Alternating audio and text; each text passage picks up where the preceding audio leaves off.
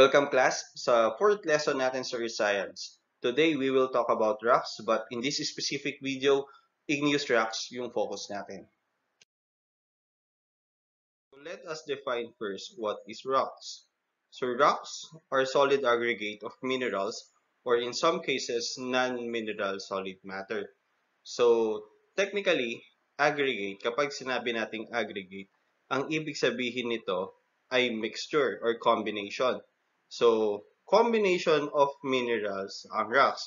And at the same time, there are some rocks that contain non-mineral solid matter, uh, which means galing sa living organisms. This is a picture of granite. So in this picture, you can see the different minerals na present sa isang piece of rock, sa isang piece ng granite.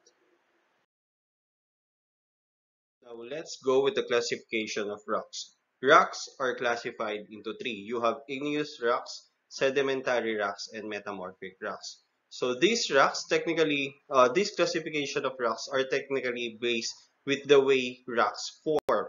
Let's go first with igneous rocks.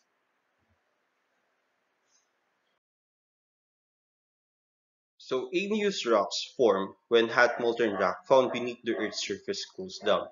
Pag pinag-uusapan ng igneous rocks, ang involved lagi ay magma or lava. Magma, kung ang molten rock ay nasa ilalim ng pan ng lupa, then lava if the molten rock reaches the Earth's surface. Igneous rocks form when magma or lava crystallizes or solidifies. So these processes turn a matter from any state into solid. This happens when there is a decrease in temperature lumamig ang lava or magma or kaya naman nag-increase ang pressure where the molecules have no choice but to stay closer with each other. Uh, which in turn uh, turns lava or magma from liquid into a solid, which is a rock. Igneous rocks are classified into two. You have extrusive igneous rocks and intrusive igneous rocks.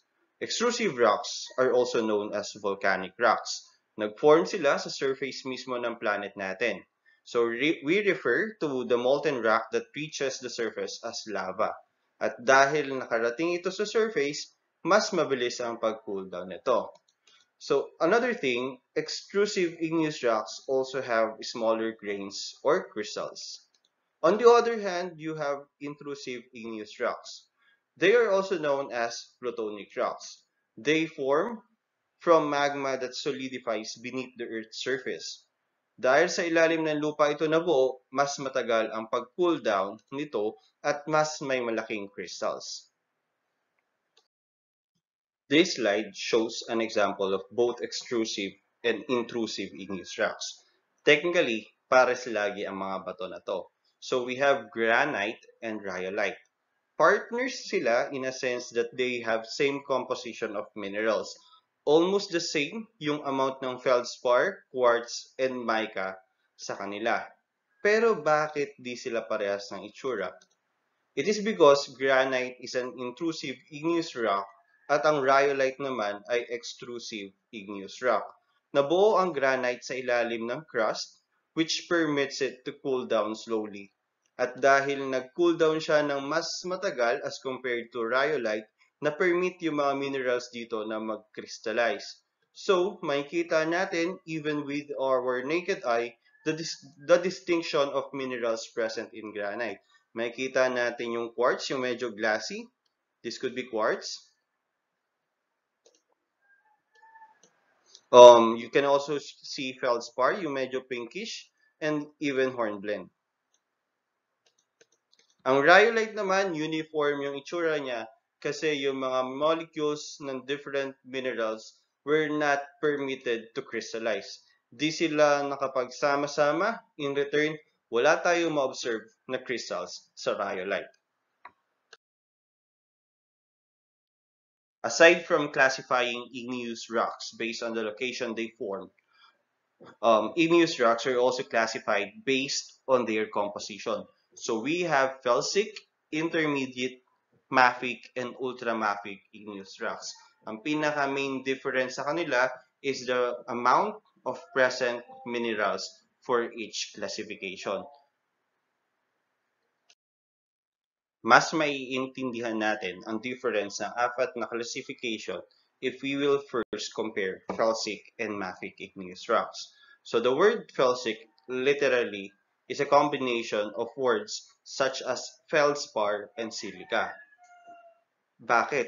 Kasi ang felsic rocks ay rich sa iron, aluminum, and oxygen, the main composition of feldspar. Tapos, meron din siyang silica for the sick in felsic. So, if you compare felsic from other rocks, mas makikita mo na higher ang silica content nito plus the presence of aluminum and uh, iron and oxygen.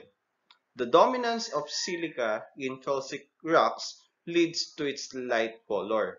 Ang felsic rocks ang pinaka-light ang kulay sa apat na nabanggit na classification. Mafic naman comes from the combination of words such as magnesium and ferric. Comparing it to felsic rocks, mas maonte or kaunti ang silica content nito, pero dumami naman ang magnesium at iron content. The presence of magnesium and iron in mafic rocks cause it to have dark appearance. Intermediate igneous rocks have a mineral composition in between of felsic and mafic rocks. Nasa gitna yung amount ng silica dito and even the amount of magnesium if you will compare it with felsic and mafic rocks. Ultramafic naman have the highest concentration of magnesium and iron. Then, lesser na yung silica content nito.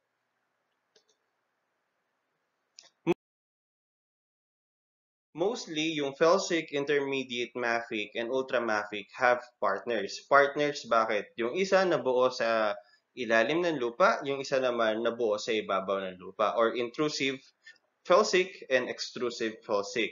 Same goes with other classification. So, isa-isahin natin ang mga ito. Uh, so, you have samples of granite here and rhyolite. Yung isa nabuo sa ilalim ng lupa, yung isa naman nabuo sa ibabaw, yung isa ay intrusive at yung isa ay extrusive. So as I have said earlier, nagamit na natin to kanina, granite is an intrusive igneous rock and then yung isa naman, rhyolite, is an extrusive igneous rock but they are both felsic. Same goes here. Diorite and andesite. Diorite is an intrusive igneous rock. Andesite is extrusive igneous rock, pero they are both intermediate. In a sense, they have the similar content of silica, magnesium, iron, and oxygen on them. Gabbro naman and basalt. Gabbro and basalt have the same composition of minerals, almost the same amount of minerals. But yung isa, gabbro, is an intrusive igneous rock, then yung basalt is an extrusive igneous rock. They are both classified as mafic. Last example is peridotite. So it is classified as an ultramafic igneous rock. Um, sinasabi na rare itong klase ng bato na to because it only forms on the mantle or in the mantle itself. Uh, lumalabas lang siya sa surface natin, buo na siya kasama ng lava na nag-explode coming from a volcano. So it is rich in magnesium and iron. So that is the end of this video. Um, next part, we will be discussing sedimentary and metamorphic rocks. Thank you.